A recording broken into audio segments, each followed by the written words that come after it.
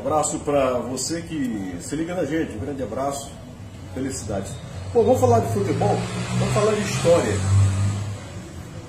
Falar dessa lenda viva no nosso esporte. Para muitos, o maior jogador de todos os tempos no futebol do Codó. Eu converso agora com o atacante do Nacional, Nilo, grande Nilo. Jogou com o João Pinto, com outros craques. Nilo, tudo bem, Nilo? Ah, tudo. Graças a Deus eu fiz parte de uma equipe grandiosa na época. Eu morri quando eu fui para lá, aí já eu já comecei pronto. Foi? Quando eu fui para o Nacional, eu acho que eu tinha 18 anos. 18 anos. Eu comecei no Campo Rio. Só que quando eu o Nacional, aí eu passei a ser o, o principal. Eu, Pelé, Chiquinho. Então a gente. São coisas. Marconi. Aí depois o Marconi se tornou até nosso massagista. Foi? É. E se, em que ano mais ou menos, Nilo? Então, deixa eu ver se eu lembro aqui.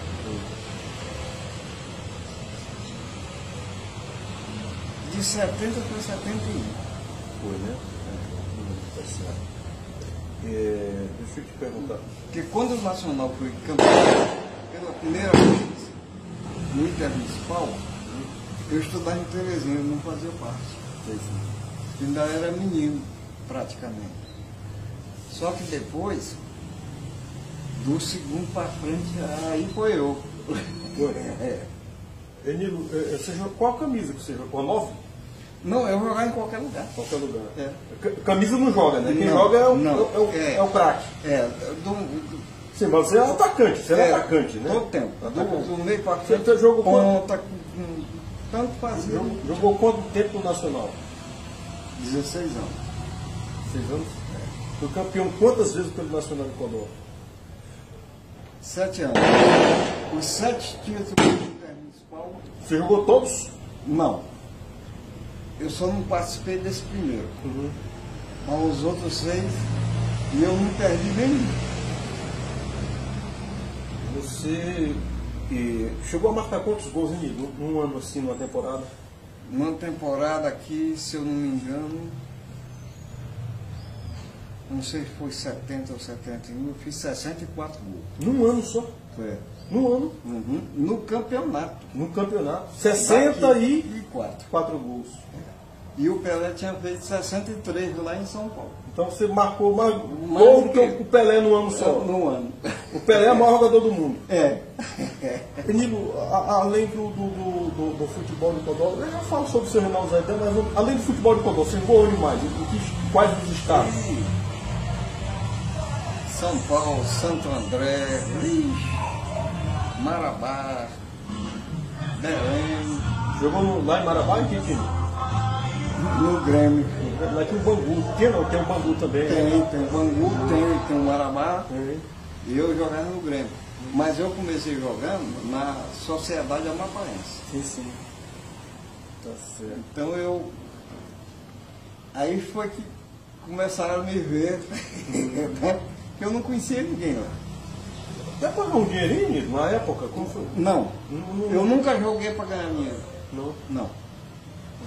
Sempre joguei por prazer. Tá. Eu te pergunto, aqui em Codó, Nacional, jogou só no Nacional aqui? Não, Canto do Rio, Não. Nacional, Não, e joguei também no uns quatro meses. quatro meses, quatro meses. É. E no Santos. O Santos, Santos do Daqui, nós fizemos, Ah, tá. nós fizemos o Santos aqui. Reinaldo Zaidan. Quem foi Reinaldo Zaidan pra você? Ah, Maria, um amigo tanto. É meu, era meu compadre mesmo. Comadre Maria, até me cobra, que eu não, não ando visitando. Eles são padrinhos da minha filha, da Danuse, que é a minha segunda filha. A amizade, a, a dona Rosalina, mãe do Reinaldo, ah, ela tinha um carinho comigo. Depois de tantos anos eu consegui até fazer o dançar. Foi.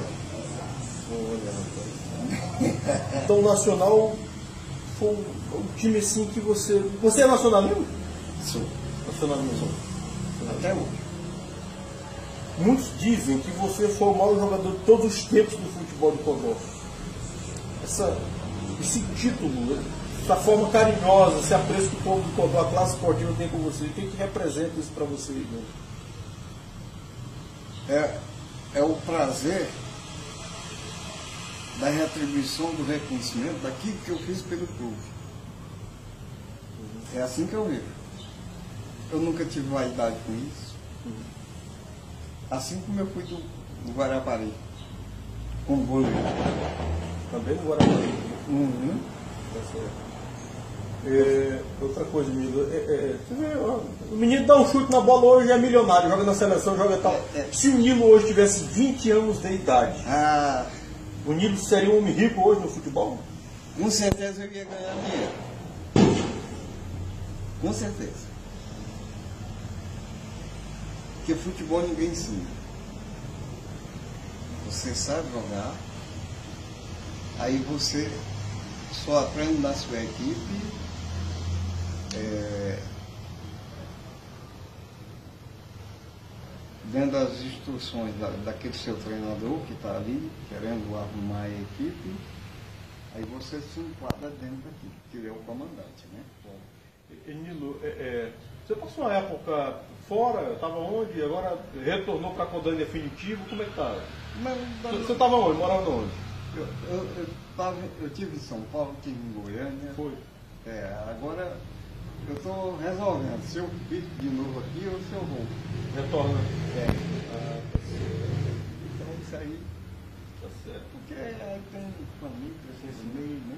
Sim, sim, sim. Verdade, verdade. Nilo, meu irmão, foi um- uma satisfação poder te conhecer, tá certo? E, assim, a, a sua história, ela nos, ela enobrece muito, ela eleva muito o esporte codoense.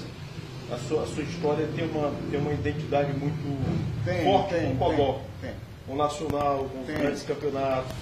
O artilheiro, você foi por muitos e muitos campeonatos, muitas e muitas Todos competições. que nós ganhamos, Ah. eu, eu fui um dos principais Uhum. participativos para que isso acontecesse. Tá certo. Não fui melhor que ninguém, eu nunca, eu nunca digo isso. Tá? Mas eu, João Pinto e o Gentil, Marcon, Pelé, eu sempre falo. Milton, um abraço, sucesso, Pra você saúde, também. Tá bom. que Deus esteja sempre ao seu lado, tá certo? Vai estar. Muitas da história do futebol do Codó.